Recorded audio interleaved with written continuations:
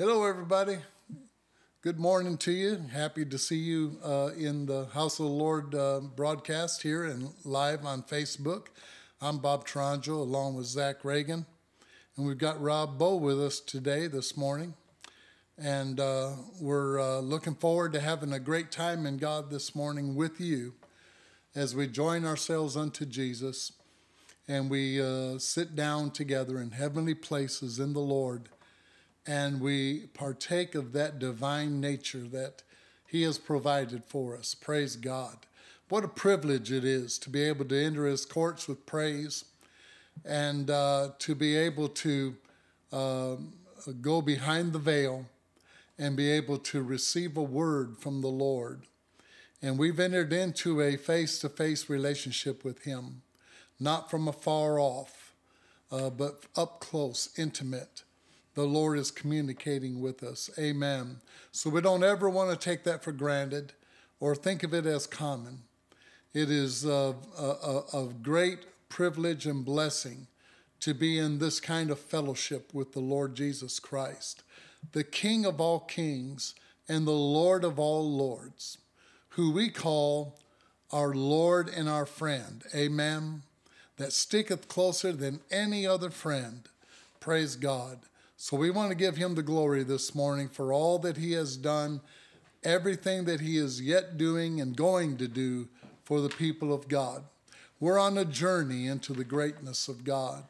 We've left behind of us uh, the walls of religion that have hemmed the people in and have stunted their growth in the Lord, causing them to be boxed in to a certain place or dimension.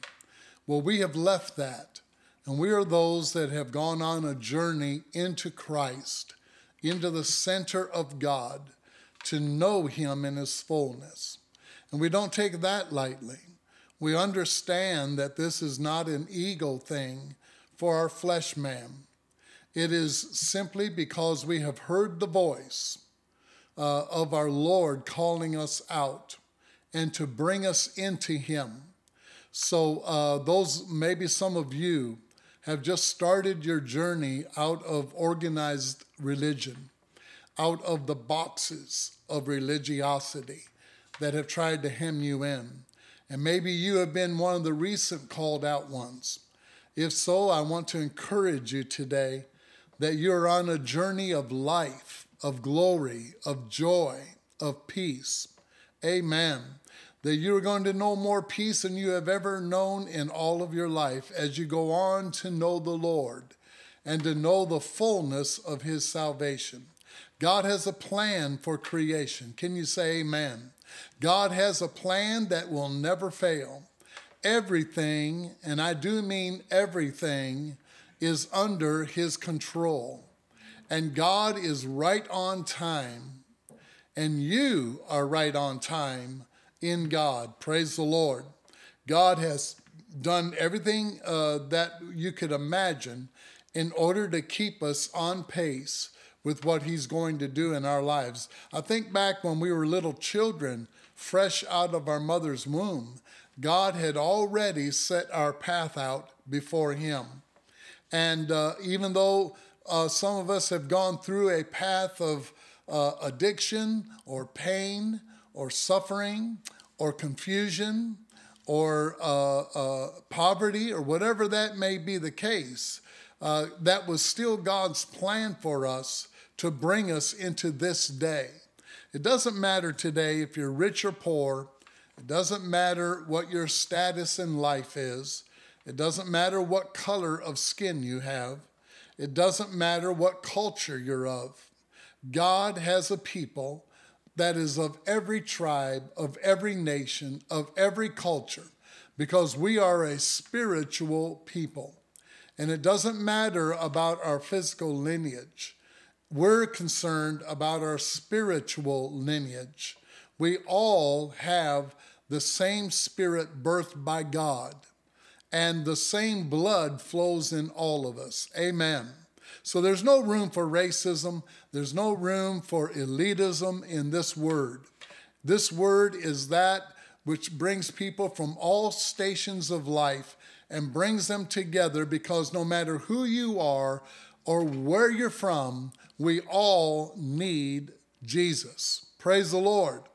And we're all in that same ship, that same fellowship of, of needing Him. And that's why we're here this morning, because we hunger after His righteousness. We hunger after the revelation of His greatness. Amen. And so I, I pray that uh, whatever's said or done this morning will be a blessing to you, and that you will, uh, at the end of this uh, service, that you will be able to say it was good to be in the house of the Lord. Praise God. We love all of you. I'm glad if you're uh, joining us live on Facebook, uh, then I welcome you. We also will be recording this and putting it up on YouTube, and we have CDs and DVDs that we send out each week.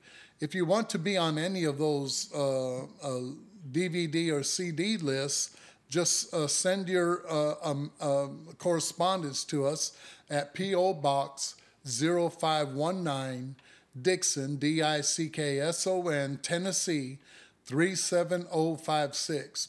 And we'll be glad to put you on our mailing list. You can also reach me at my uh, email at rtorango, that's rtorango, at comcast.net. Amen. Praise the Lord this morning. And Father, we do praise you. We ask you, Lord, for your strength and your spirit to be with us today. We ask you, Lord, that you will bless everyone that participates in this gathering unto the Lord. I'm asking for those, Lord, that are weak and weary. Hallelujah, that you will strengthen them, Almighty God. That, Lord, you will bring them into the high places of your greatness that, Lord, their eyes will be lifted up into you, Lord, and that they'll see you high and lifted up and your train filling the temple. Hallelujah. Lord, I'm asking you, God, to lift them up into thy greatness. Amen. So that they can sit down and know you, their Father, their true Father and Lord. Hallelujah. Lord, we just want to give you the praise and honor this morning. Ask you, God, to bless us with your blessings and bless all men everywhere with the knowledge of the Lord. Hallelujah, hallelujah, hallelujah. Blessed be the name of the Lord. Blessed be the name of the Lord.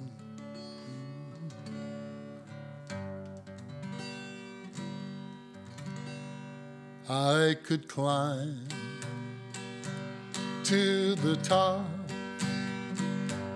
of the highest hill where I could go to the depths of the deepest hell or I could crawl through the sands of the desert so bare, and my Lord,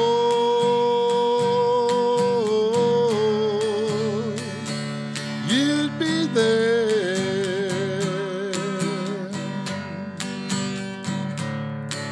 or I could walk through this land of darkness and sin, or I could stand in the midst of the lion's den, or I could toss to and fro on the sea of trouble care, and my Lord. O yeah, glory.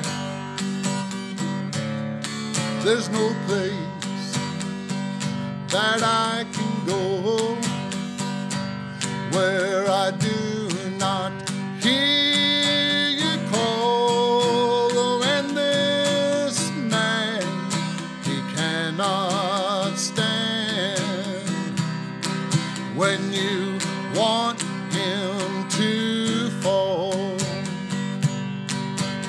said, Oh, it is done. And my veil began to tear. I knew my Lord. Oh, you'd be there. Come on, let's praise Him this morning. Hallelujah. I could climb, oh, to the top of the highest hill, or I could go to the depths of the deepest hell, where I could sprawl through the sands Oh, over the bare, and my Lord, oh, you'd be there. Hallelujah. I could stand in the midst oh, of a lion's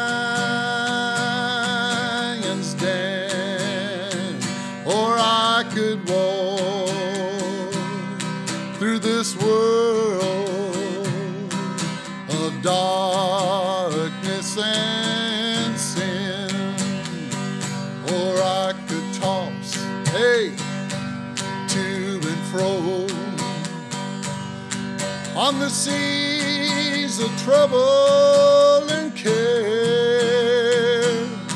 and my Lord, I knew you'd be there. Did you always know He was there? Amen. Glory.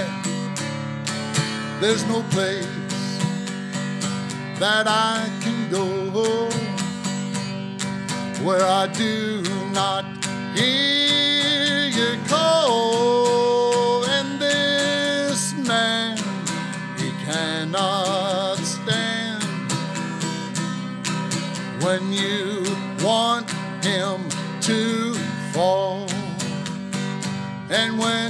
said, Yes, Lord, it is done.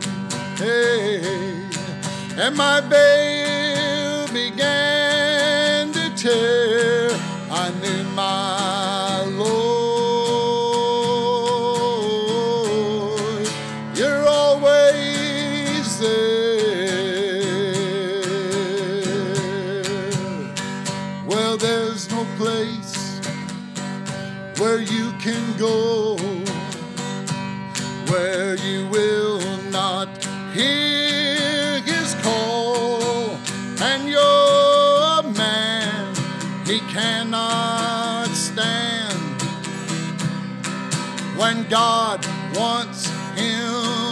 Fall, and when he says, you know it's done, hallelujah, and our veil begins to tear. I know my Lord,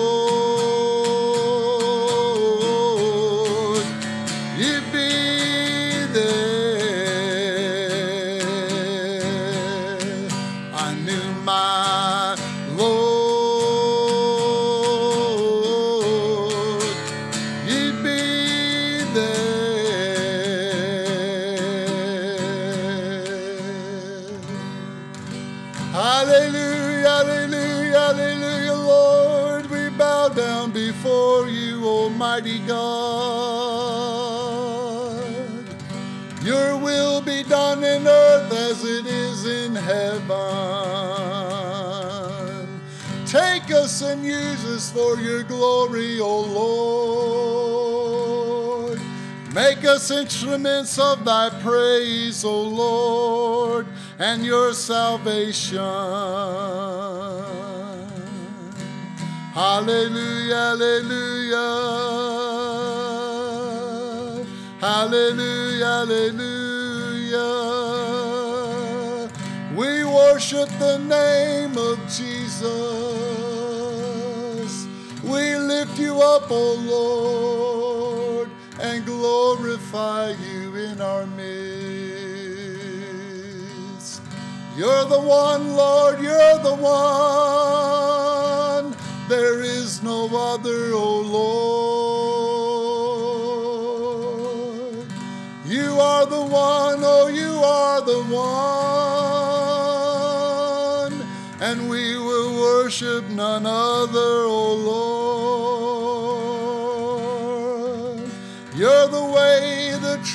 And the life, the door and the gate, O Lord. There is no other way. Hallelujah.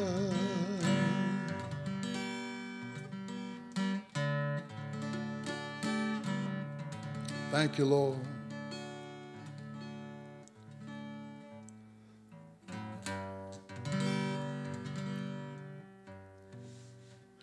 Lift us, lift us up into thy greatness, O Lord. Lift us high into the heavens above. Out of the narrowness of self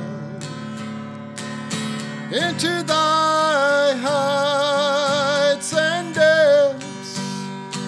Lift us up into thy greatness, O Lord. Oh, lift us up, hallelujah, into thy greatness, O Lord. Come on, let's let him lift us. Lift us high into thy heavens above. Out of the narrowness of self into thy heights and depths. Into thy greatness. Oh Lord, oh lift us up into thy greatness. Oh Lord, let him lift you into the greatness. Lift us high into thy heavens above out of the narrowness of self into thy heights and depths. Oh, lift us up into thy greatness, oh Lord. Come on, sing it. Oh, lift us up into thy greatness, oh Lord. That'll make everything else small. Oh, lift us high into thy heavens above. Out of the narrowness of self into thy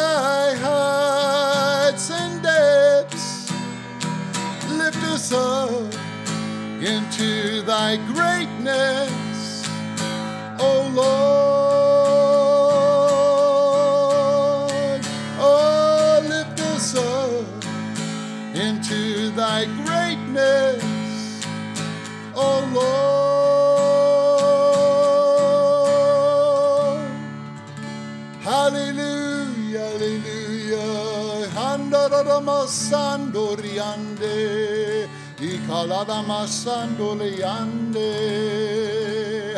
Oh, let the earth hear the word of the Lord.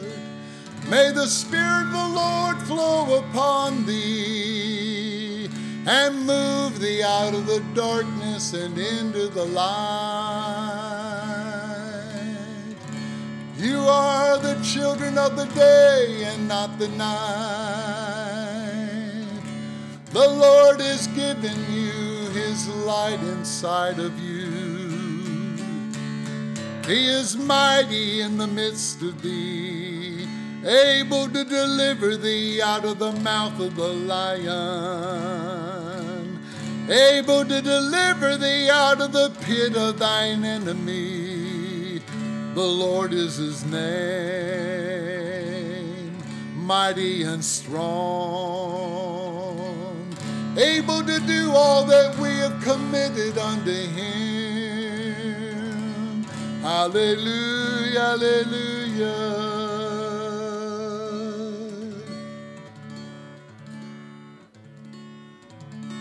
Hallelujah.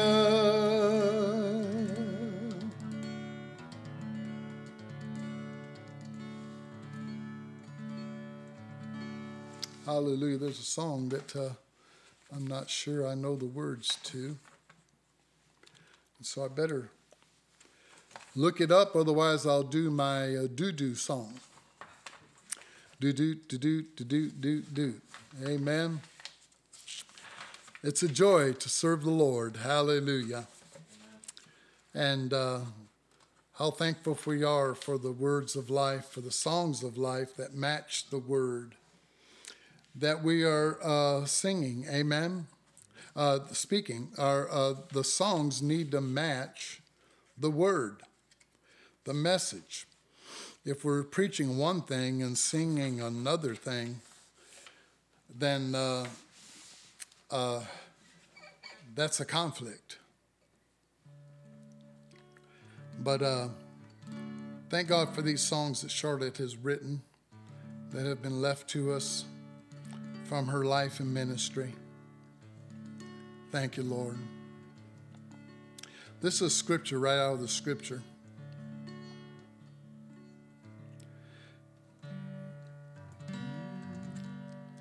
Yet not I, but Christ liveth in me.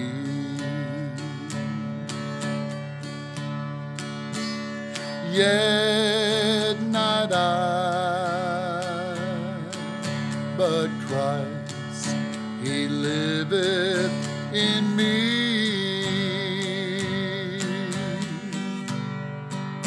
I'm alive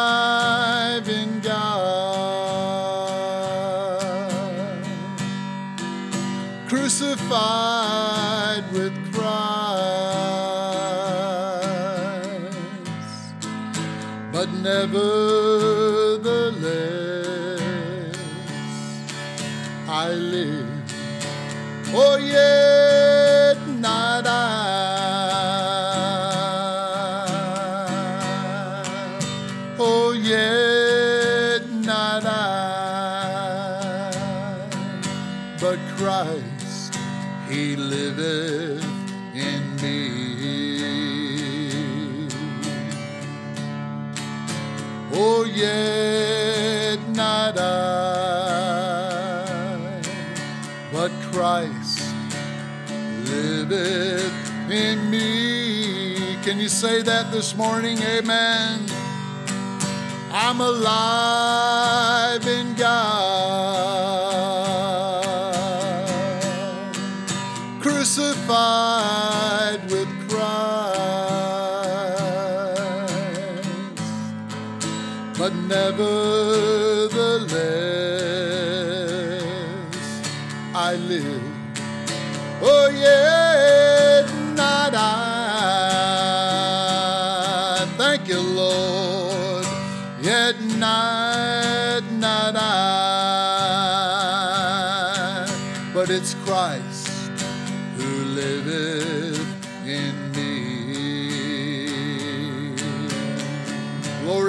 name. Yet not I,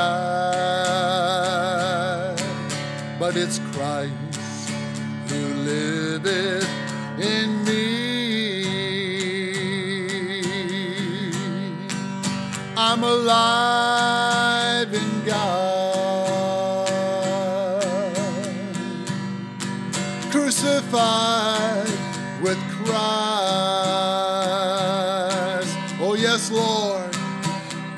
nevertheless,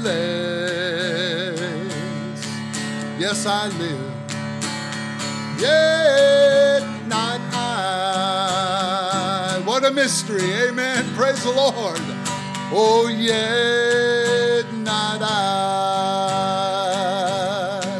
But it's Christ who liveth in me. Don't you love him today? Hallelujah. Glory. Oh, yet not I. But it's Christ who liveth in me. I'm alive in God, crucified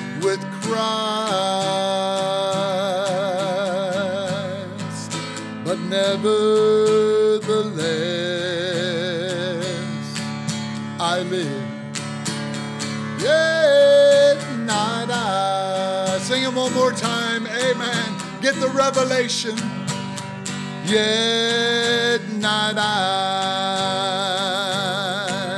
but Christ liveth in me. Oh, yet not I,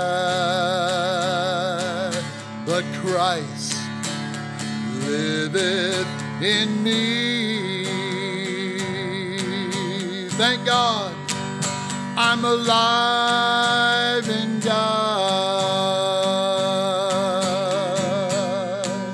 crucified with Christ.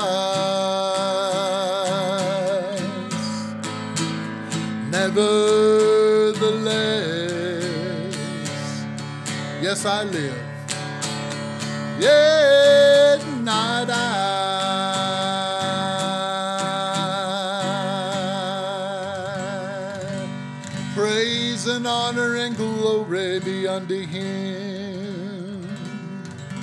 Praise and honor and glory and majesty. Wonderful is the Lord, and mighty is his name. Be lifted up in the worship of the Lord. Let the praises of our God fill your mouth, for he is worthy, he is worthy. The Lamb is worthy of all the praise and honor.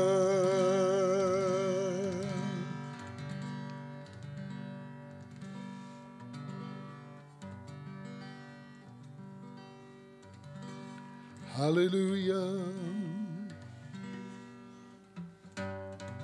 Andarama sandori andoramo shandari andoramande. God is moving. His spirit is moving. Move with the cloud, move with the cloud. God is moving on, and we're moving with Him.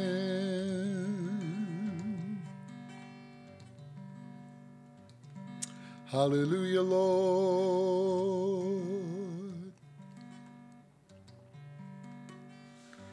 Thank you, Jesus.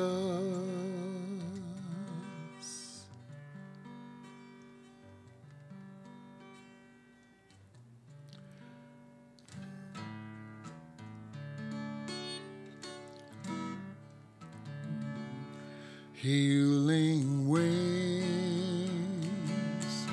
give Give us your fly, Sun of righteousness, arise from our earth, shine forth your light,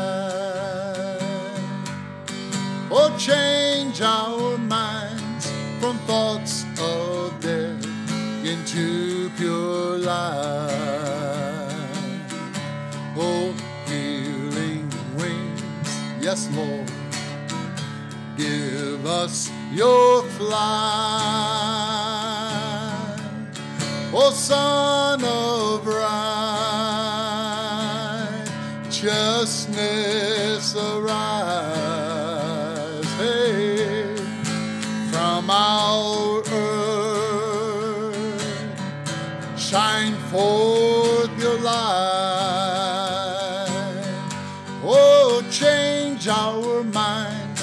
thoughts of death into pure life. I really believe somebody's being healed this morning. Amen.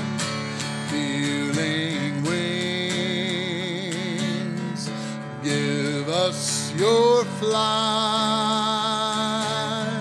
Oh, Sun of righteousness, arise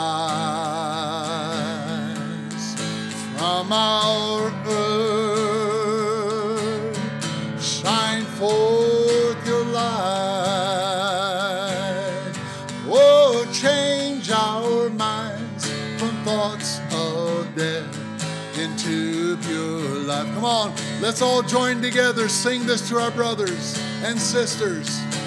Healing wings, give us your flight.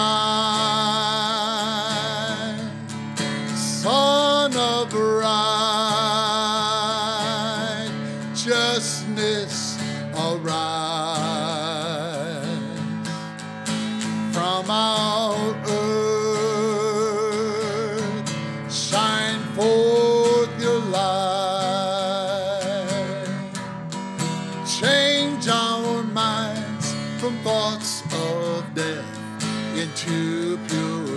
Change our mind, Lord. Change it. Oh, healing wings, give us your flight, Sun of righteousness. Arise, arise, O Lord. Hallelujah. From our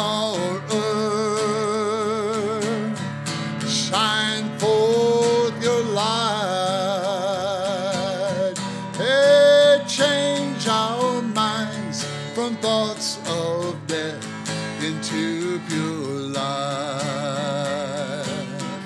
Oh, change our minds from thoughts of death into pure life. Come on, sing that with me. Hallelujah. Yes, change our minds from thoughts of death into pure life. Amen, amen, amen, amen. Healing and restoration, I speak unto all of you. Hallelujah. The power of God to be released upon you, the authority of the Lord Jesus Christ to be in the words of this prayer, that you will be set free from every affliction that the Lord will rise you up out of the bed of sorrow and pain, set your feet on solid ground, cause you to rejoice again, cause you to see a new day in your life, a new beginning of the Lord, another page turned, another chapter written. Hallelujah. Look up, look up, look up, and see the Lord and see him in his majesty. Draw near unto him, draw near unto the Lord, and cause your spirit to be quickened, and also your body to be quickened and made alive in Jesus' name. Amen and amen. To him be the glory and honor and praise. Hallelujah, hallelujah. Amen and amen. Praise the Lord. It's wonderful to worship the Lord. Hallelujah. To give praises unto him. Praise his name. Hallelujah. If that's all that we did, then we could be fulfilled in just praising the Lord. Because um, when he is lifted up, we are lifted up with him. And uh, when he is glorified, we are glorified with him. Praise the Lord. So, uh, what is his is ours. Uh, can you imagine the scope of that, of what we just said? What is his is ours. We are the heirs of salvation, the heirs of Jesus Christ, joint heirs with him. He is our elder brother. We have the same name, amen, the same nature as Jesus our Lord. He is the elder, so he has the preeminence. It, nothing is done without him. But at the same time, we are named with him. We are natured with him. And that divine nature is denaturing our Adamic nature. So that uh, as we decrease, he is increased. Amen.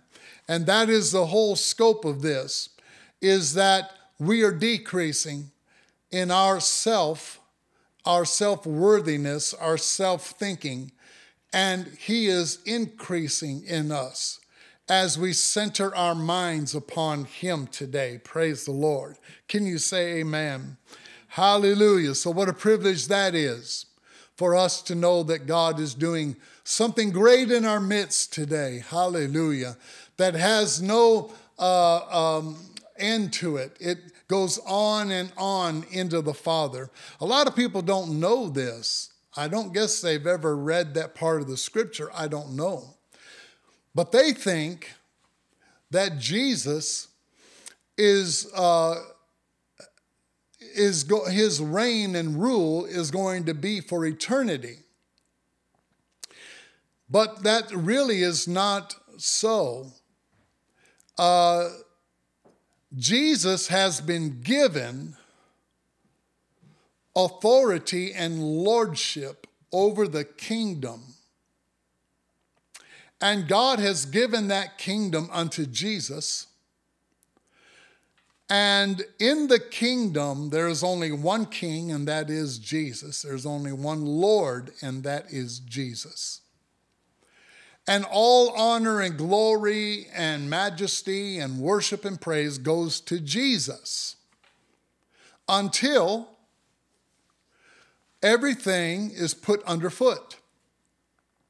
Not only in Jesus himself, as it has already been put under the feet of Jesus, it remains that death will be put under the foot of the believers, of his brethren.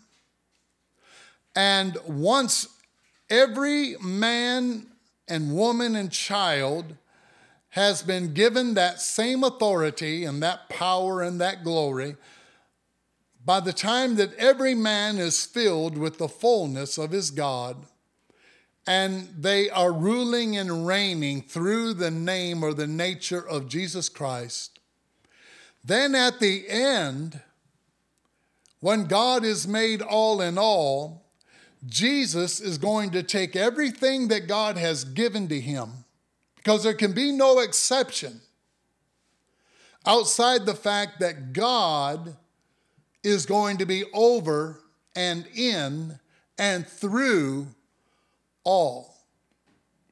So there can be no exception to that. So Jesus, after he has won every battle and he has brought forth every victory that needs to be done, hallelujah, so great. I can't help but praise him in the middle of it, hallelujah. Once he has conquered every foe, and secured the entire creation of God, then the scripture says that Jesus himself will offer back unto the Father all things, so that God may be all in the all. Praise the Lord. And that is our example, dear ones. Jesus is the pattern for us. And our example and pattern is to take this kingdom that we have built in this earth, your own little kingdom, and we are to bring that kingdom and turn that kingdom over to the kingdom of Jesus Christ. So that we are no longer sitting on our own throne, but Jesus is sitting on the throne of our heart and of our being. And everything we do and everything we say is because we have seen our Lord do or say that. Jesus said this in the greater sense of it when he said, Everything I say and everything that I do, I have seen my Father in heaven say it and do it. I don't do anything, he said, except those things that I have seen and I have heard. Amen. Now, in God, you're always going to see these uh, larger things done, and then there's going to be a microcosm of that done in the individual man or woman or child. Uh, so that as Jesus has been given a kingdom that he has secured and offering it back unto the Father, so we, in turning our lives over to the Lord, and our kingdom unto the Lord, we in that microcosm are going to be offering that all up unto Jesus so that there's nothing left in us that is a shadow of our former self. Uh, our, our thoughts are different. Change our mind so that we don't think death, we start thinking life. Change our thoughts. Change our, uh, our thinking. Well, there's those that call that of the thinking of the carnal man stinking thinking. Take that stinking thinking and turn it into thoughts of life and immortality and incorruptibility and glory and majesty. Amen? until God is thoroughly uh, the center of everything that we are about. Now, um, we are headed to that place in the Lord where we start losing our life. I love that song, Yet Not I, and I love that scripture. Hallelujah. I'm crucified with Christ, nevertheless I live. Yet not I, but Christ liveth in me. And this life that I once lived through faith, I no longer live through my own faith. I live it through the faith of the Son of God. Uh, we live, yet not I, but Christ. And it has always amazed me about that scripture in Galatians 2 how that it uses the personal uh, pronoun I as different uh, parts of us to where I, I am crucified with Christ. And then you have the term nevertheless, nevertheless, that's not the end of the story. We're not just living in crucifixion. Amen. We are not just living in a crucified state. The crucifixion, the cross, was not the end of the story. The cross was a means to an end. Hallelujah. Yet, not I, uh, I am crucified with Christ, nevertheless, I, the same I, but a different I, I live. The I that lives is not the singular I that was crucified. The I that lives is the I that came out of the resurrection. Because crucifixion leads to resurrection. Suffering leads to ruling and reigning. Amen. And, uh, uh, and, and so it says that I am crucified with Christ, nevertheless I live, yet not that I that I was crucified as, yet not I, but Christ. In other words, I am swallowed up into the Christ. So it is Christ that lives in me. Christ has become my life. And so even though I live, I don't live according to my own ability, according to my own life force, according to my own identity. I am swallowed up in the I that am Christ. Hallelujah. Amen. But that is why God, it's amazing to see the things that God has put together and how they work. Uh, I, I, I, believe Zach mentioned it Wednesday night, and I, I might have mentioned it last week. I don't know, I don't re- remember. But uh, I am starting the third volume of the ongoing writing that I have uh, had going uh, for quite some time now on the house that God built. This will be volume three, and uh, its, uh, its title is Building the House. And once you see how God has done something in this uh, body that is made in the image and the likeness of our God, then you understand if we can get a hold of how God designed us, then Paul uses this body as an example of the church, how the church should uh, operate.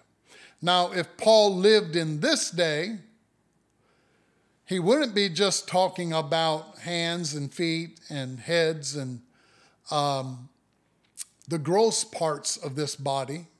If Paul lived in this day, he'd be talking about DNA, he'd be talking about RNA, he'd be talking about the human cell, the uh, cytoplasm, which is the outer court, the nucleus, which is the holy place, and the nucleolus, which is the holiest of all.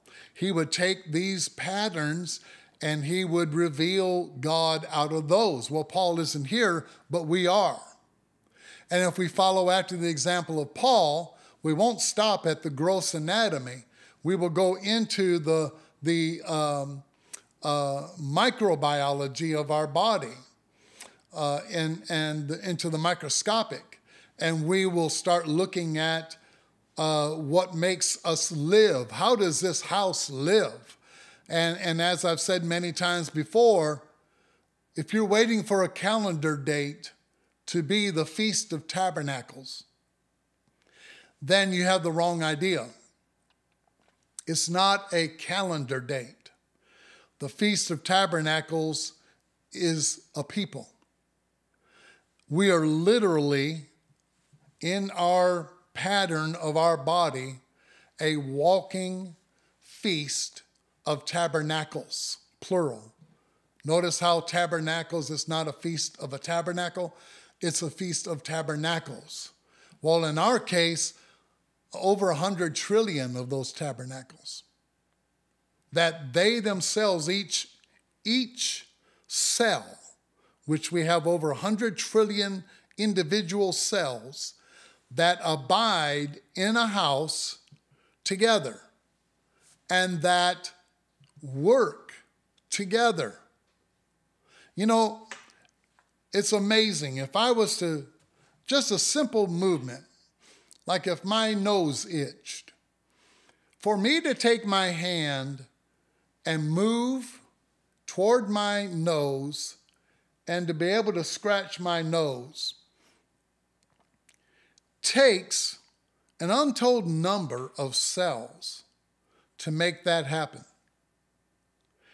and without poking me in the eye or smacking me in the nose, uh, and I can literally stand up here, not holding on to anything, and not fall over because my body is constantly balancing itself on my feet. Uh, if I didn't have that cooperation, I would teeter and totter and eventually fall over. And this uh, Ezekiel vision is a vision, if nothing else, it is a vision to show the complexity of the world of God and how that world causes things to come forth out of the center of it that have direction and order and arrangement. Now, some people think that God is just haphazard, that God's out here doing stuff, just doing stuff without any order or, or arrangement. Or that God at times must be out of control because otherwise, if He is in control, this never would have happened to me.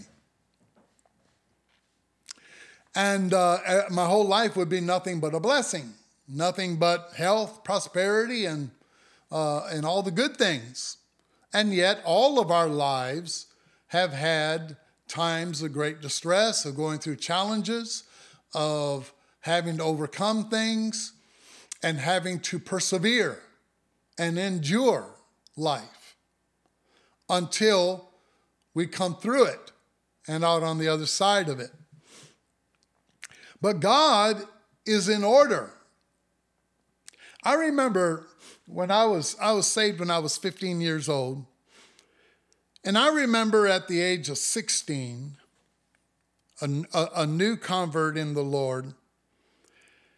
And, and God drew me and he started speaking to me at the age of 16 he start i started feeling this um, these thoughts that weren't my own thoughts. And i recognized that in the midst of my own thoughts every once in a while i would have a thought that i perceived to be not my own thought but it was a thought that got my attention.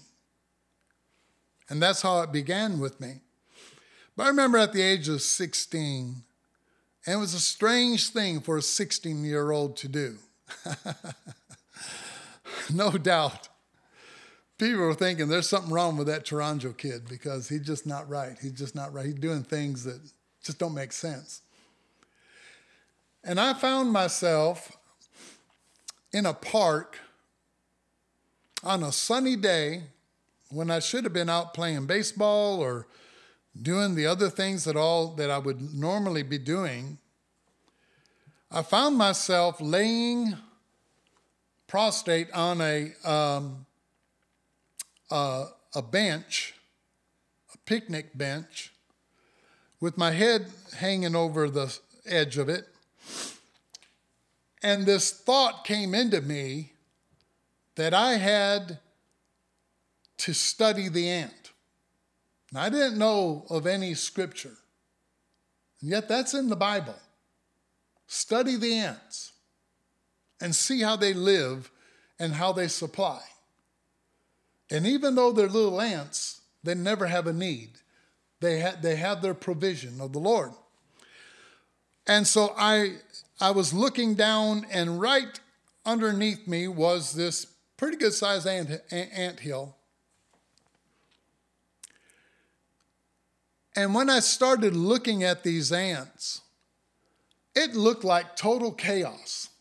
You know how that is. If you've ever looked at an ant hill for any amount of time, it's like everybody's going off and doing their own thing and walking all over each other. And, and at times they're doing the zigzag pattern and going all over the place. And the more that I watched them, I thought, this, this, I, you know, they're, they're all mixed up. They don't know what they're doing. There's no order to their uh, what they're doing. And I spent, I'll bet you, three hours watching that ant hill, just laying on that bench. and watching these ants. And after a while, I saw a pattern there. I started noticing how haphazard they seemed to be, and yet the amount of food that they were bringing into that ant hill was amazing. And each one seemed to know their purpose, that their purpose was to bring food back to the nest. Now, to this day, I'm not really clear how ants communicate. I know it's by uh, some kind of a chemical smell that scientists say that they go by. But I really don't have that all clear in my head. How in the world a little little bitty ant can know what to do in a community of ants. And yet, if you go to any place that really deals with ants, and if you've ever gone to some place that has a glass enclosure that shows what goes on under the soil, you see all of these tunnels and uh, arrangement and order that these ants are going by. And the communication that they're going by puts each one of them in a different classification. There's soldier ants, there's ants that protect the nest, there's ants that are drones that are all they do is just go out and gather. Uh, there are uh, ants that, uh, uh, queen ants that birth eggs and and their purpose is to keep that birthing going. Uh, it's, it's quite a production. But it reminded me in days later, it reminded me how God has order and arrangement. But it's not the order and the arrangement of men. Now, in first glance with Ezekiel, it's a mystery. He's seeing so much. Now, as I told you in the other lessons on this, Ezekiel is being shown something by God because Ezekiel was going to go through a ministry of bringing a word of judgment to the rebellious house of Israel who were in captivity. And God was going to use this prophet in many strange and weird ways.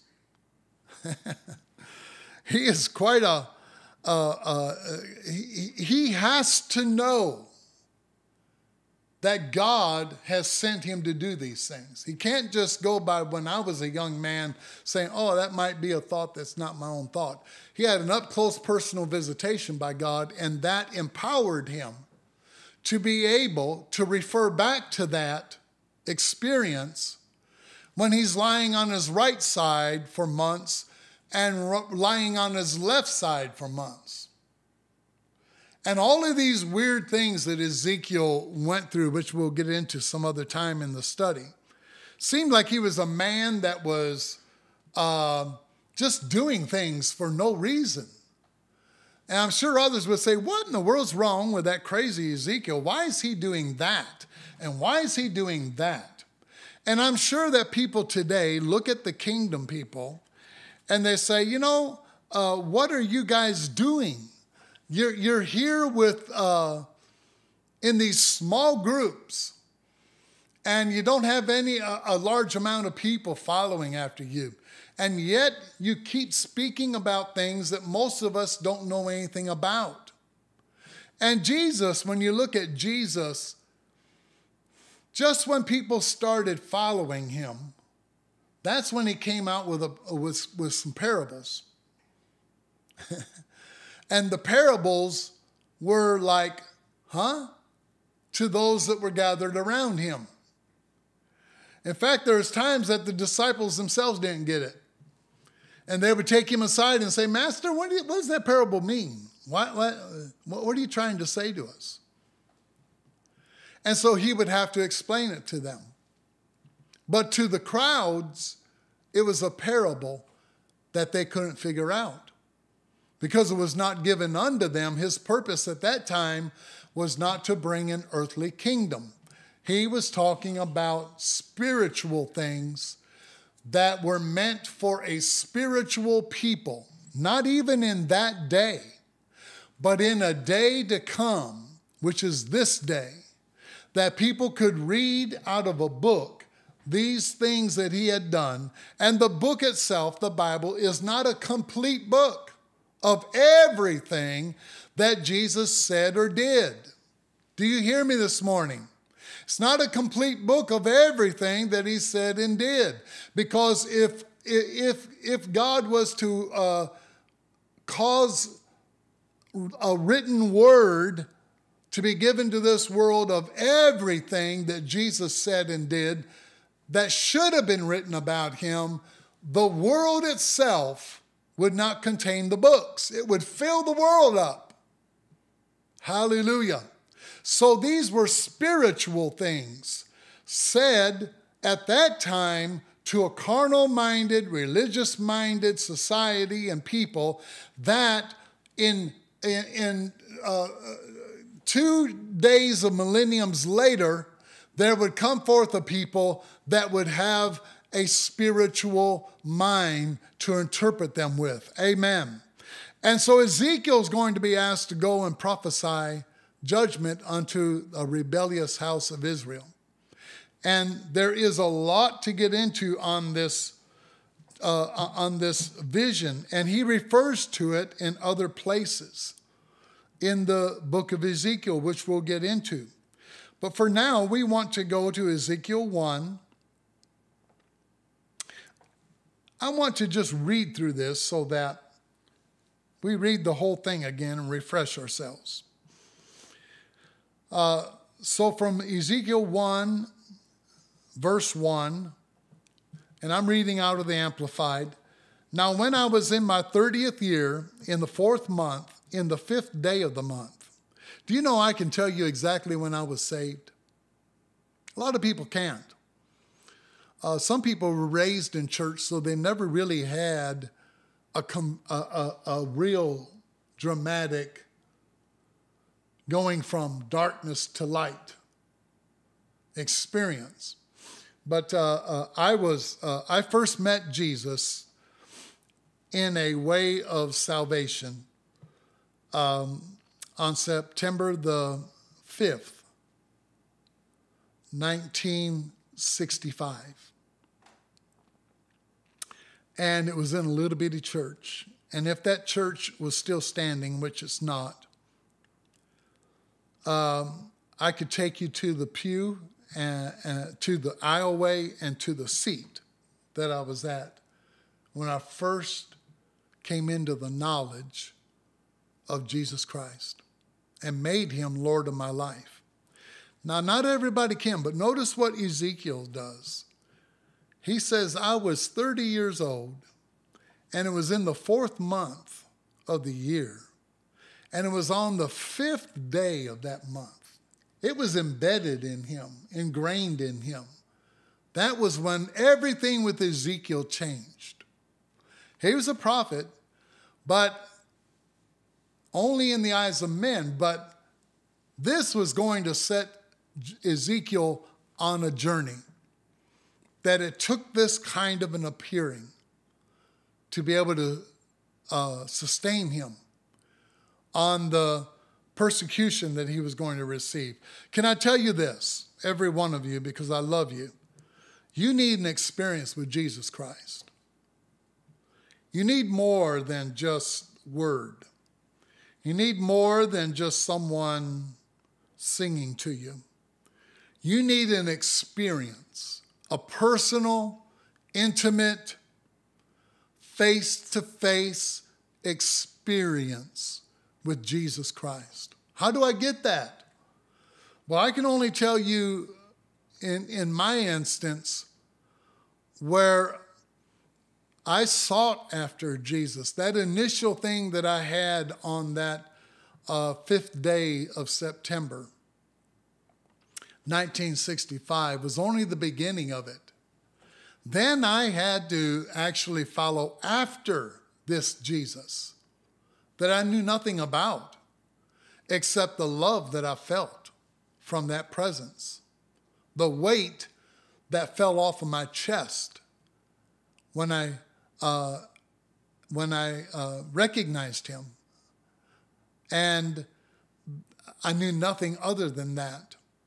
And when I think about all of the strange things that people were doing around me, it's God is able to cut through all of the soulishness of men and go right to the heart of us. Amen. To get a hold of us. But then I had to follow after that. And uh, I was very serious about it.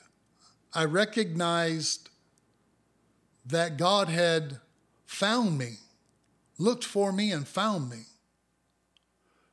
under a design of a plan in my life at the year of 15.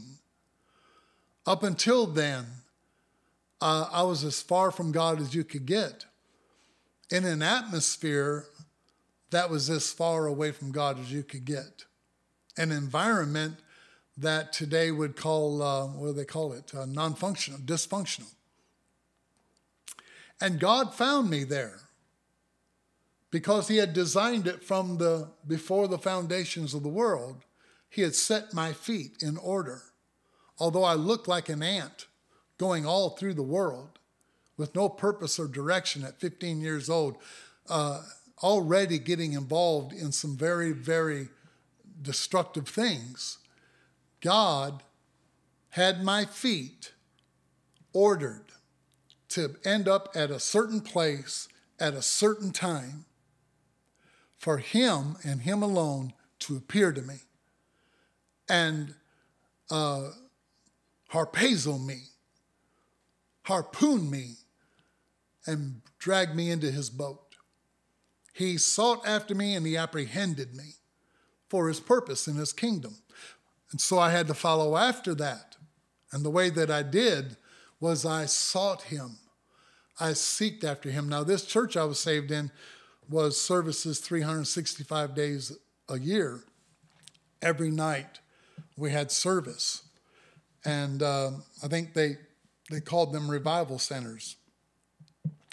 And that was the way the early Pentecost did. Uh, and um, for two years, I never missed a service.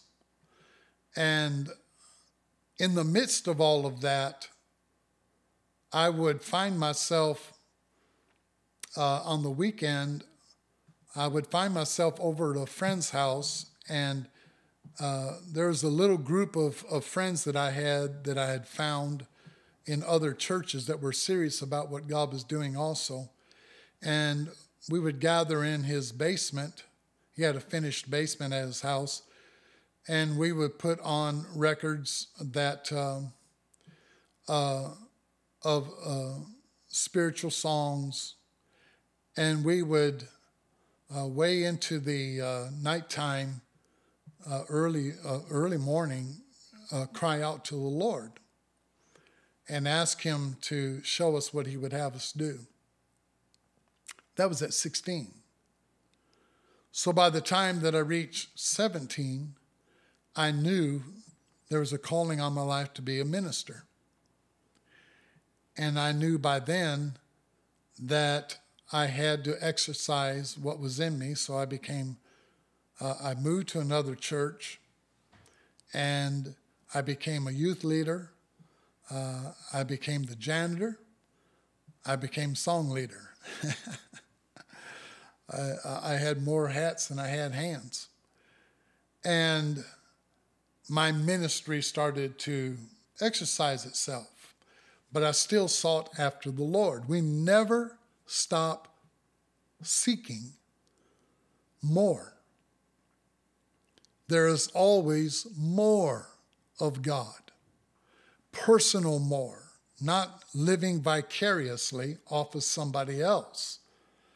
We need that to a certain extent to strengthen us. Like these broadcasts, thank God for them. Thank God for teaching. Thank God for the times that someone like myself can come in and because I've been around for a long, long time in this word, I can maybe say some things that would maybe uh, uh, cut your journey short a little bit and be able to show you the way to go until the Lord is able to speak to you personally. But you have to have that experience where it's not just uh, something you're hearing someone say or seeing someone do, but it becomes your life in God. It becomes your journey. And then as you um, still gather together with others, you become a life giver instead of a, a life taker. You become a life giver. And this can happen, as I say, at any age, at, at any time. Uh, God can continue and start to speak to us. Don't ever limit that in God. And so Ezekiel knows the exact day of the year that, and he remembers where he was exactly. I, I bet you Ezekiel could take you back to right beside the river Chebar where he was at and be able to show anyone this is where I received the vision from God. Hallelujah. Hallelujah. We want that. We want God to show us something so dramatic, so to have an experience that is so life changing that we could point anyone to that place and that time, whether it's in our own home or whether it's in a gathering or whether it was in a car or whatever. We can let people know I was here at this particular time and the Spirit of the Lord came upon me. Hallelujah. And when it came upon me, God showed me. And whatever He shows us at that time is going to be with us for the rest of our life. Praise the Lord. And he said, he was as, as I was in the midst of captivity beside the river Chebar in Babylonia, the heavens were opened, and I saw visions of God. On the fifth day of the month, which by the way was in the fifth year of King Jehoiakim's captivity, the word of the Lord came expressly, thank you, Lord, to Ezekiel the priest the son of Buzi, in the land of the Chaldeans by the river Chebar, and the hand of the Lord was there upon him. And as I looked, behold, a stormy wind came out of the north. He knew the direction. It came out of the north, and a great cloud with a fire enveloping it and flashing continually. A brightness was about it, and out of the midst of it there seemed to glow amber metal. Out of the midst of the fire. Notice how many times he notes that it was out of the midst of all of this, out of the center of it, out of the midst of it. Hallelujah.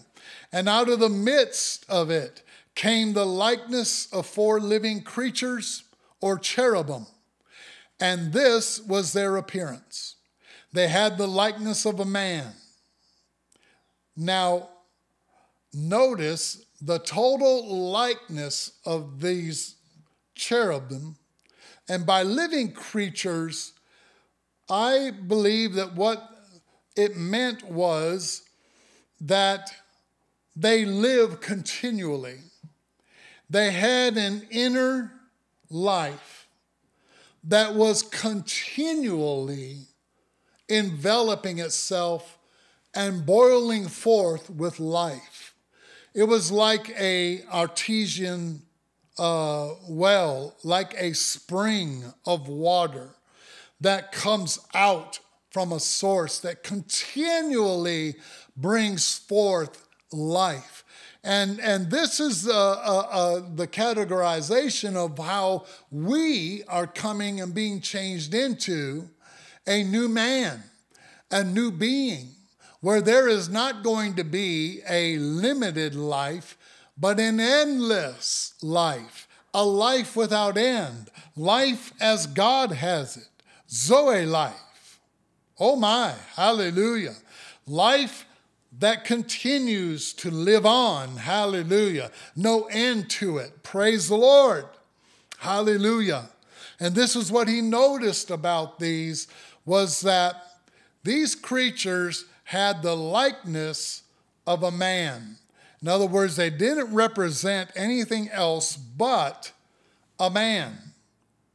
With all of their parts and all that was going on with them, the likeness of the totality of it was a man. Amen. It always, everything that God does has to do with man. Everything that God has ever done has to do with man. It is mankind that God has fashioned after himself. It's mankind that God has set the heavens in, uh, in, in order for. Hallelujah. He hung the stars in the heavens at night for man. So, and the moon is there strictly for man, according to the scriptures, so that man would never be totally without light. Can you say amen and praise the Lord? It was all for us. Everything was for us.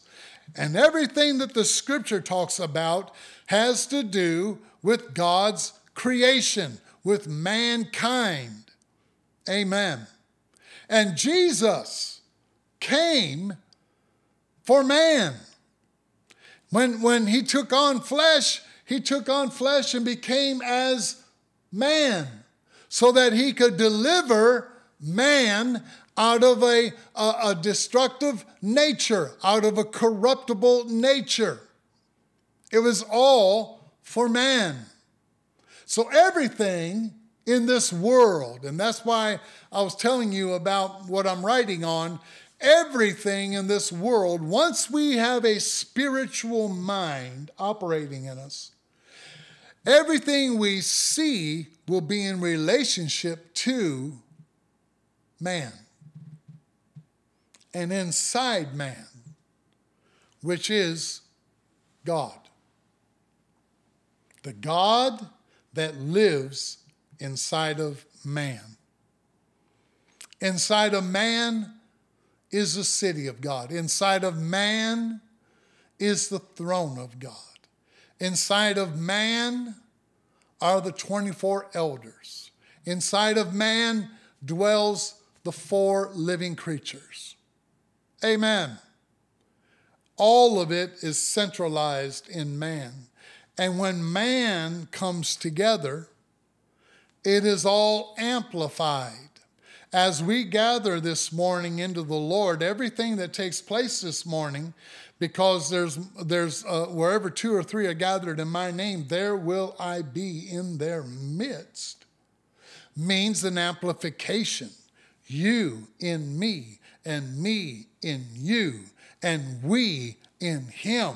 I pray you can feel the power of that. I pray you understand why we need each other, why we can't go off by ourselves. We have to, whatever we receive when we're by ourselves has to come into the midst of God's people. It has to have a demonstration and an expression into the midst of God's people because that's the reason why God is revealing himself to us so that we can reveal him to others.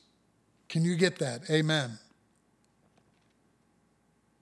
So the likeness of a man was about the whole four living creatures. But individually, each one had four faces, and each one had four wings. Now, this is something that Charlotte and I did not understand for a long time, and I still don't understand the totality of it. But Charlotte and I started years ago, many years ago. Charlotte and I started seeing 444. A lot of people see numbers.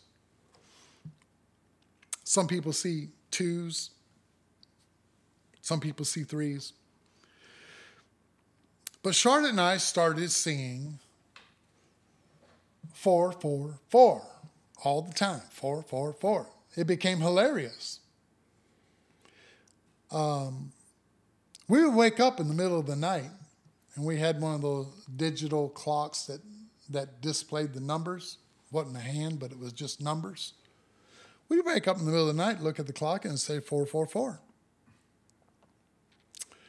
Um, and it got to where I started saying, beating my head and saying, God, what is this? Why, why, why, why would you show us 444? And, uh, and I started saying, oh, there's nothing to it. Must just be, you know, when you buy a new car, you start seeing that car everywhere. You, you get numbers, you start seeing them everywhere. I don't know. And I'm sitting on the couch, and we have the TV on. And I said, Charlotte, there's, I don't understand it. There's, I, I just don't know if there's anything to it. Us seeing this number 444 everywhere we go, 444. And she'd say, Well, I, I, I think God's trying to tell us something. old carnal Bob would say, I don't know. And right when I say that, this commercial is one of those loud uh, car salesmen. And he says, That's right, folks for $444 down. You can buy this car right here. And they got 444 all over the screen. and so I said, I give up. I give up. I don't know what it means. I give up. I'll just keep. And to this day, I keep seeing 444. Well, I don't know if it has anything to do with it. But you see 444 in this representation. You see four living creatures, and they have four faces, and they have four wings. So, if that was to show us that it is time for us to understand how God is joining things together to create something greater than the individual parts? Perhaps. I'm sure that that's a part of it, maybe, but maybe not the totality of it. But that much I, I can say I believe that because a single number four is just four. Put another four with it, it becomes eight. Put another four with it, it becomes 12, and so on. And there is a multiplication, an exponential gaining by things that are joined to one another. And I told you that to me, what this vision is going to show us eventually is the multiplication, the exponential power when heaven and earth start to come together. When uh, we start seeing not uh, 12 tribes, but we start seeing 24 elders. When we're, when we're seeing an exponential number that increases itself, and in the increasing of itself, it, it, is, it is made up of numbers that represent just an individual value, but taken together, they represent a much greater value. Hallelujah. Now, it's great that there that Jesus is the Son of God. Amen. And just that single son has has done more at the cross and through his resurrection than you could ever ever ever imagine. But I'm telling you that by the time Jesus is done, he is going to be seen in Mount Zion with not just himself but with 144,000 others that are just like him. Hallelujah. He will have exponentially multiplied himself in power and in glory and in stature and in uh, authority over and over and over again. And of course, 144,000 has the base number of 12 to it and even four into it. Hallelujah. So we see that God has taken something, amen, through 2,000 years ago, uh, uh, the Son of God came and he was taken up. And before he was taken up, while he was teaching on earth, he said something that people quote a lot. I don't know if they, under, if they truly understand the, the power of it, but he said that these things that I do, you shall do greater. And then he talked about exponential greatness because I go to my Father. And where I am, there I'll bring you also. Hallelujah. This is exponential. Glory to God. And right at this moment, the power of God that is going to be beyond Pentecost, beyond miracles, beyond all the things that you and I have ever heard of or imagined. There's going to be greater things done because we are being joined unto our source, unto our Lord, our King. Hallelujah. And then we take our places under the King to be priests and kings called unto God. That's no light thing. That is an exponential power of Melchizedek.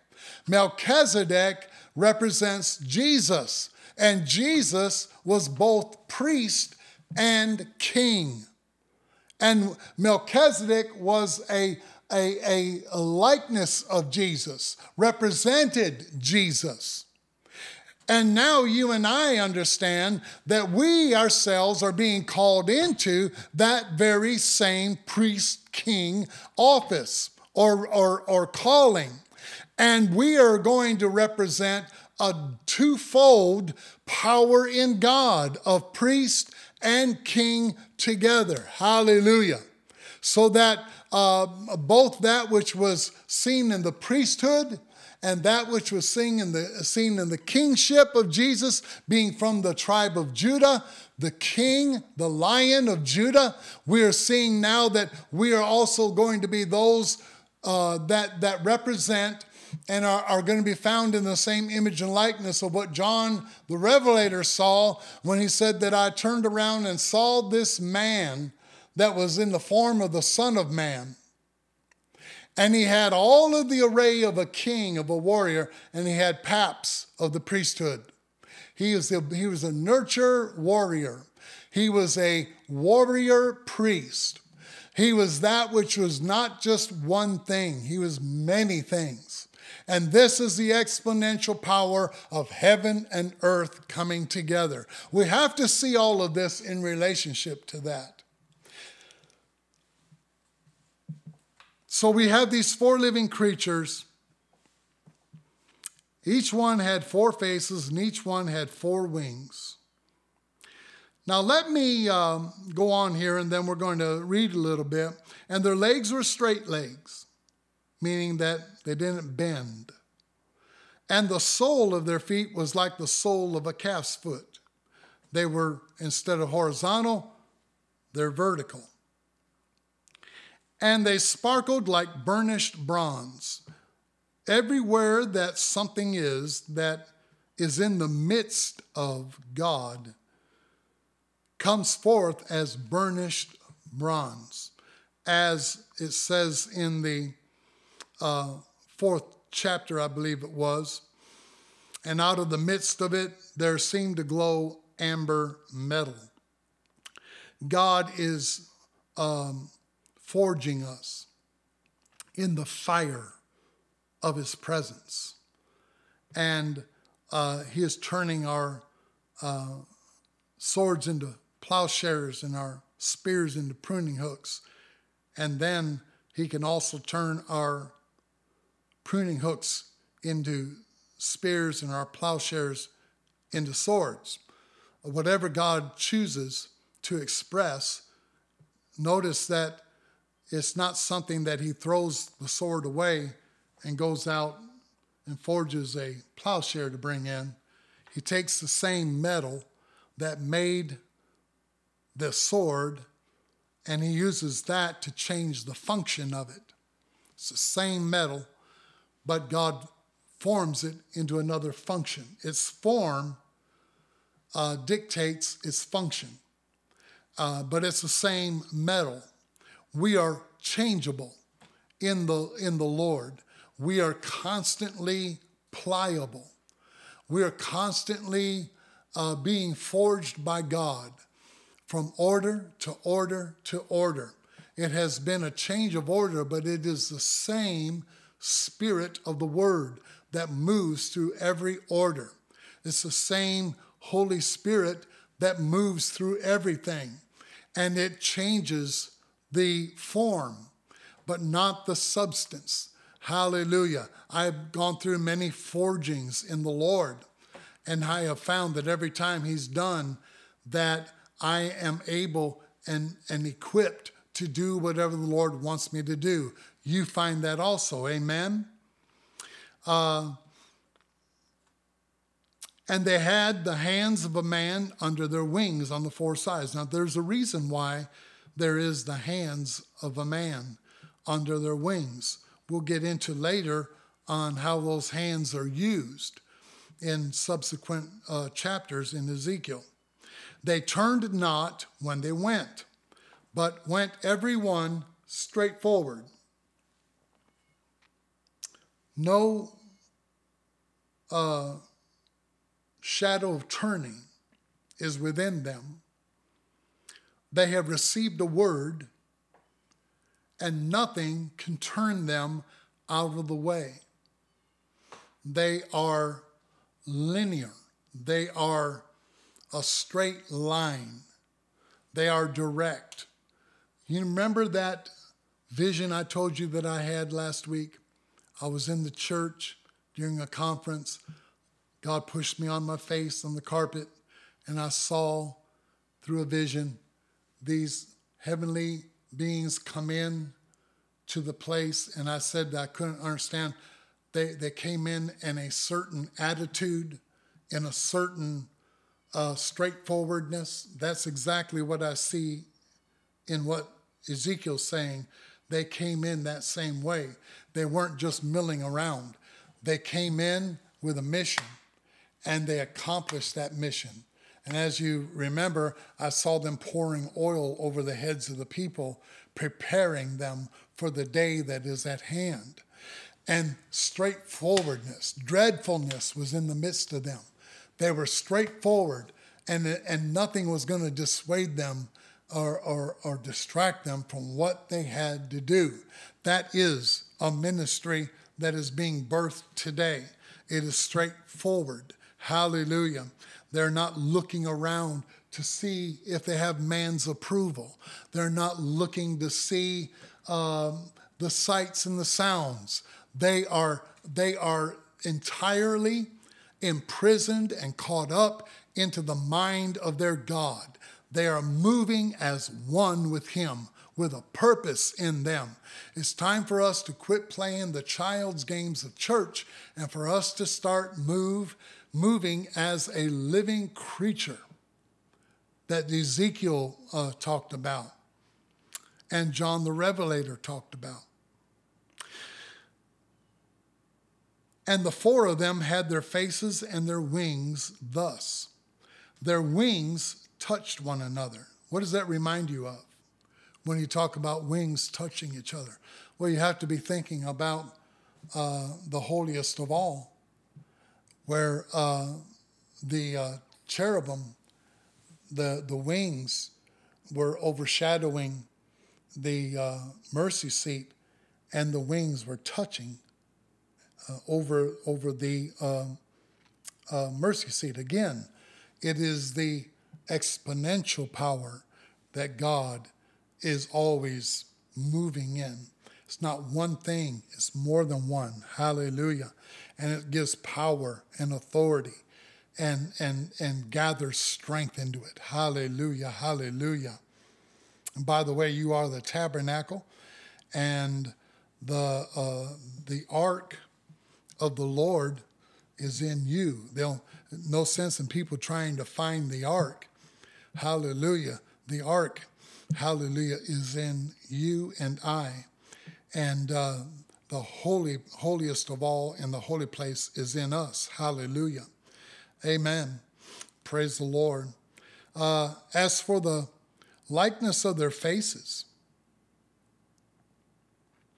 they each had the face of a man in front, and each had the face of a lion on the right side, and the face of an ox on the left side. The four also had the face of an eagle at the back of their heads. Now, um, as you know, uh, John the Revelator saw also a similar vision uh, as God was showing him in the fourth chapter of Revelation the throne and the throne room. And uh, I want to go to that and uh, have us read that a little bit.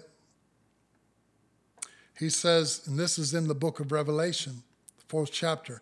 After this, I looked, and behold, a door was opened in heaven, and the first voice which I heard was as it were a trumpet talking with me, which said, Come up hither, and I will show thee things which must be hereafter. And immediately I was in the Spirit, and behold, a throne was set in heaven, and one sat upon the throne. And he that sat was to look upon like a jasper and a sardine stone. And there was a rainbow round about the throne, in sight like unto an emerald. And round about the throne were tw- four and twenty seats. And upon the seats I saw four and twenty elders sitting, clothed in white raiment, and their head and they had on their heads crowns of gold. And out of the throne proceeded lightnings and thunderings and voices. And there were seven lamps of fire burning before the throne, which are the seven spirits of God. Notice more than one thing going on here, more than one detail. All of it speaks of exponential, combined power and glory and majesty. And God has always been a plurality of things in one. Hallelujah. Praise God, which makes him which makes his greatness so expanded. Hallelujah. And before the throne there was a sea of glass like unto crystal, and in the midst of the throne and round about the throne were four beasts, full of eyes before and behind. Beast is a bad translation there. Uh, it should be creature.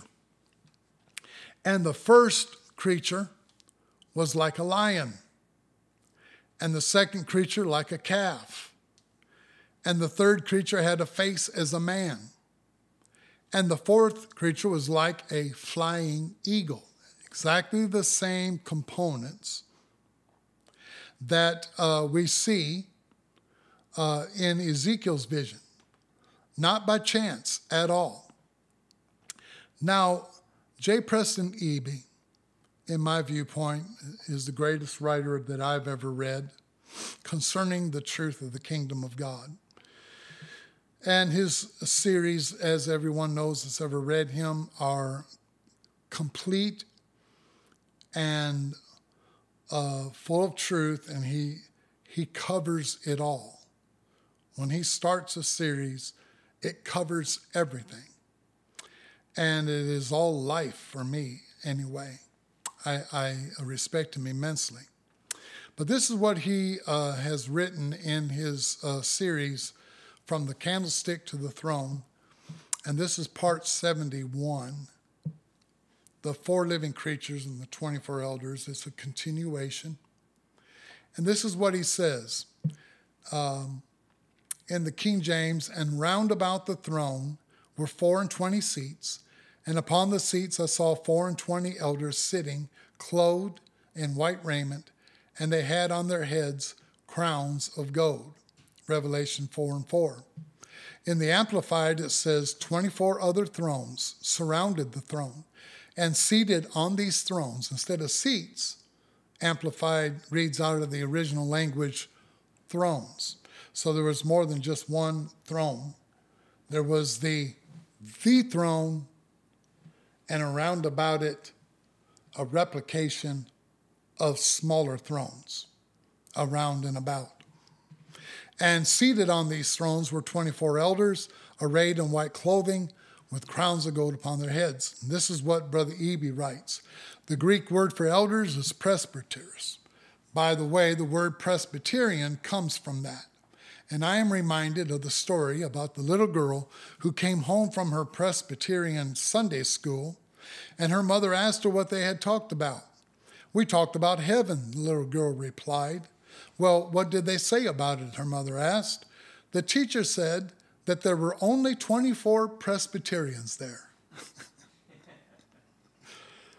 then Eby says, seriously, elders were representatives. We know that Israel had elders, and that elders were ordained in the early churches to rule and to represent the entire church. The 24 elders in the book of Revelation bear a special signification, for they are represented as distinct from both the four living creatures in the midst. And this is the same language and this is the same emphasis. In the midst, in the midst, in the midst. Rob, we are in the midst. Folks, we are in the midst of it. We're not on the outskirts. God is positioning us in the midst of it all. Praise the Lord. I give him glory for that. Hallelujah. Uh, they are represented as distinct from both the four living creatures in the midst of the throne and the great multitude before the throne. These elders occupy a unique position described as round about the throne, yet upon thrones.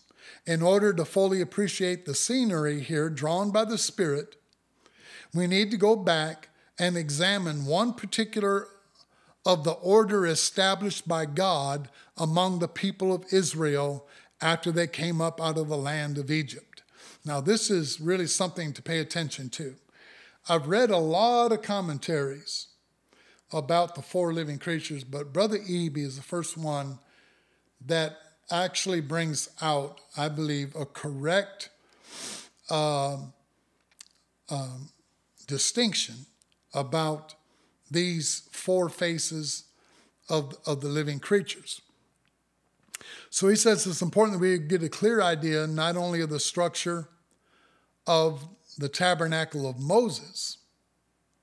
I'm sorry, I want to go up ahead here. We need to go back and examine one particular of the order established by God among the people of Israel after they came up out of the land of Egypt. It is important that we get a clear idea not only of the structure of the tabernacle of Moses, but also of the arrangement of both the people and the priesthood in relation to it. Now, you notice I say that God always has order and arrangement in everything He does. Even if it doesn't make sense to us at the time, there's always going to be an overall view that shows the significance of what God is doing. What do we see then? In the second chapter of Numbers, we find the order given for the encampment of Israel as they journeyed through the wilderness. The camp of Israel, as it was established in Sinai, formed a hollow square. In the center of the hollow was the tabernacle of Moses. Around the tabernacle, Israel was divided into four camps. One camp of three tribes on the east side, another camp of three tribes on the south side, another camp of three tribes on the west side, and the last camp of three tribes on the north side. There was to be one ensign for each camp of three tribes. Judah was to be the head tribe of the first encampment, and they were to camp on the east side toward the rising of the sun. That's in Numbers 2 3 9. The tribes of Issachar and Zebulun were to camp with Judah around his standard or ensign, which ensign was the lion. Therefore, the flag of the tribe of Judah with the lion of gold on a background of scarlet was erected in front of the camp of Judah, Issachar, and Zebulun. Next in order was the camp of Reuben on the south side along with the tribes of Simeon and Gad. These three tribes were to camp around the ensign of Reuben, which ensign was the man. On this flag, a man was represented against a background of gold. The third camp was made up of the tribes of Manasseh and Benjamin with Ephraim as the head tribe to camp on the west side of the tabernacle. The ensign of the tribe of Ephraim was the ox. The flag of Ephraim had a black ox with a background of gold. The final camp was the camp of Dan, together with the tribes of Asher and Naphtali. History shows that the ensign of the tribe of Dan was the eagle. This flag had an eagle of gold on a background of blue. The tabernacle with its courts set in the midst, in the midst of so many thousands of saved and happy Israel must have been an imposing sight and all absorbing scene of wonder to the whole nation as well as to each one of the mighty host. In this arrangement, we see the same typical picture under different symbols as that presented us in chapters 4 and 5 of the Revelation. The most holy place was the abode of the God of Israel among his people. When the tabernacle was set up as described in Exodus chapter 40, then the Shekinah, the cloud of God's glorious presence, covered the whole tabernacle, and the glory of the Lord filled the tabernacle. It is interesting to observe that while the cloud of God's glory rested upon the entire tabernacle complex, the glory of the Lord also filled the tabernacle, thus designating the most holy place as the dwelling place or the tabernacle of God. Amen. So we see by this that God, in the vision of Ezekiel, was foretelling uh, the uh, vision that John the Revelator was going to have. And that we see the same imagery and the same things pronounced in Ezekiel as we do in the book of the Revelation. So, that uh, to me is what God wants us to understand about what He's doing in the midst of this people. Hallelujah. So, uh, going back to Ezekiel,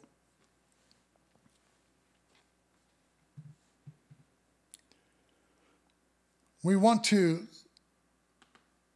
see that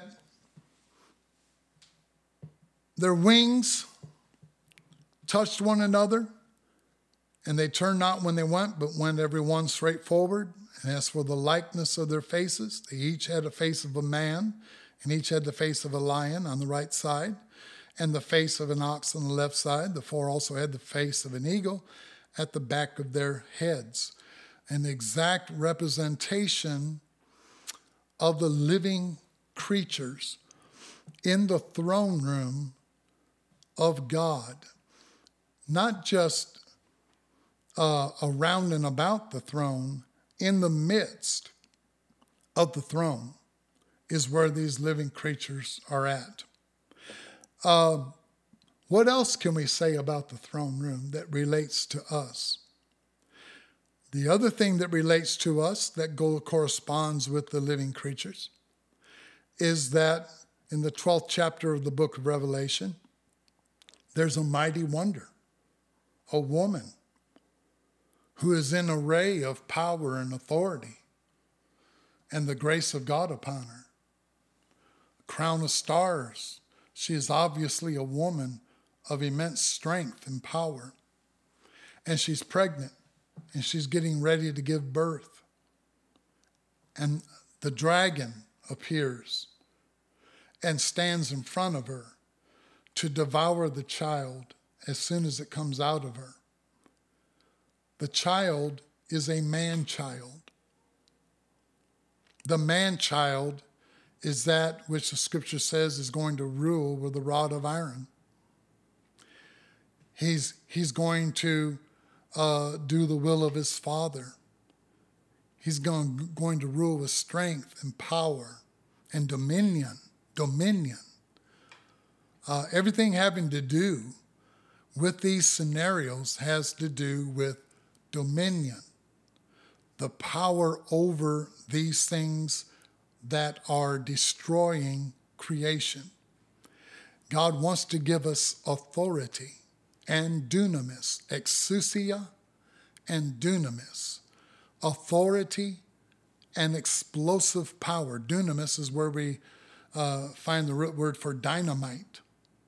Exousia is the authority to use that dynamite. Without exousia, dynamite would be powerless. But when it's, uh, it would only be uh, used haphazardly and without, uh, would be more destructive than it is helpful. But again, the exponential power of bringing the two together and through authority and dunamis, God is ruling and reigning in his people, bringing everything under his control. Amen. And we see this having to do with this exponential power that God keeps showing us through these scriptures. In the midst of the living creatures, there was what looked like burning coals of fire, like torches. What did it say in the in the uh, Revelation, the fourth chapter? There were seven lamps moving back and forth before the throne. And the seven lamps were more than just lamps. Again, exponential. Again, more than what they seemed to be. They were the seven spirits of God. Hallelujah. An exponential number of the power of God in the Spirit. Hallelujah. The seven exponential expressions they're, they, they, were, they represent the, the seven angels, the seven churches, the seven trumpets, the seven spirits of God, all of this exponential power and glory. Can you see how we have just been one dimensional? We have just been uh, looking at things in individual parts. But now we are starting to see things in the fullness of it. Now we are seeing God all together in it. Oh, hallelujah. I, I, I, I'm not shouting, I'm not screaming at you, I'm not running and dancing, but I'm telling you, I'm speaking to you the most powerful word that I have ever spoken to you before. There is an exponential growing out, coming forth of God in our midst that the world has ever seen before. It is not just one thing, it is a multitude of things. It is the manifold wisdom of God. Hallelujah. It is the power, glory to God, of God in the midst of it all. It's not the, just the first day, it's not just the second day, it's not just the third day. It's all those days together. It's not just Passover. It's not just Pentecost. It's not just tabernacles. It's all three made one in Him. Can you believe God for that with me? Hallelujah. And that's why we need to know what God wants us to be doing with this. We know now that God is showing us something on these lines that we now need to know what must I do, Lord? For right now, we need to hear it.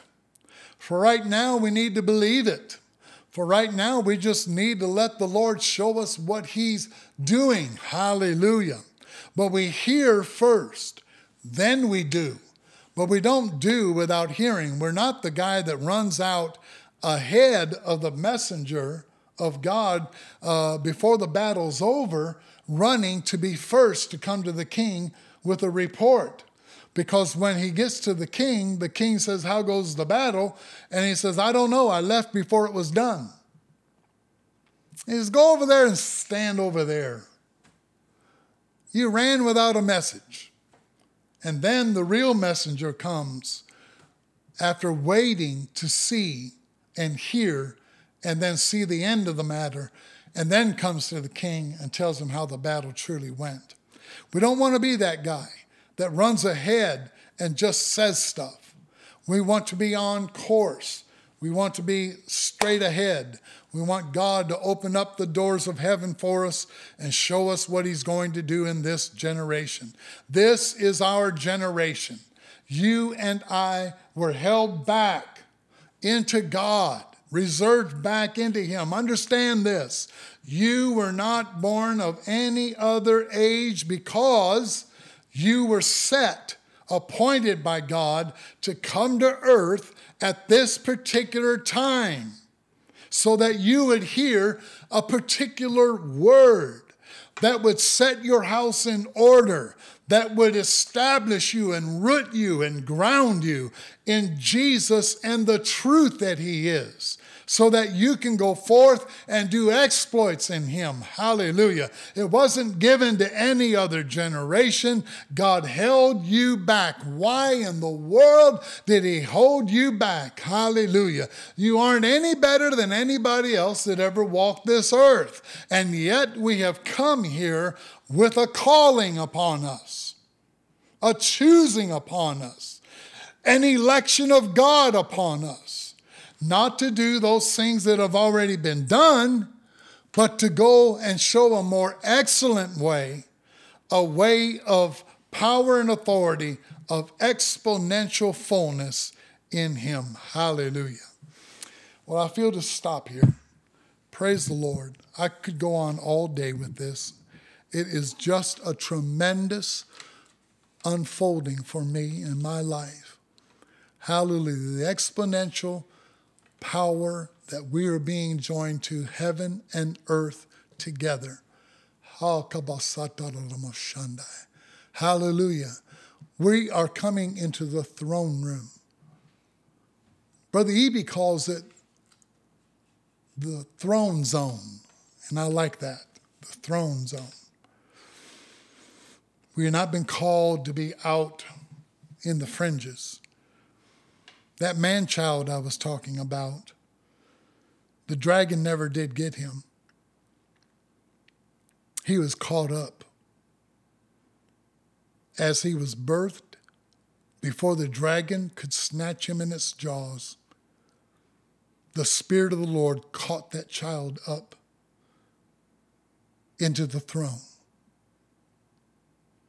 And he was forged and taught hallelujah, the ways of his Father, so that he might return again and deliver the woman, the church, the New Jerusalem, out of her persecution and bring her forth in beauty and honor as a bride of Christ. It's going to take the man child in order to bring the bride forth and to make her ready for her king. He has to first destroy all the enemies. He has to first pull down strongholds, pluck up roots of weeds and of thorns that have grown in the place of God. He has to go out and dethrone kings and do battle with principalities and powers and thrones and dominions and bring them down so that there's only one throne, one king, one dominion in all of the earth and in all of heaven. Oh, hear the word of the Lord. Gird your loins about. Eat because your journey is going to be long. Because the Lord is not bringing you into an easy place of comfort and of swaddling.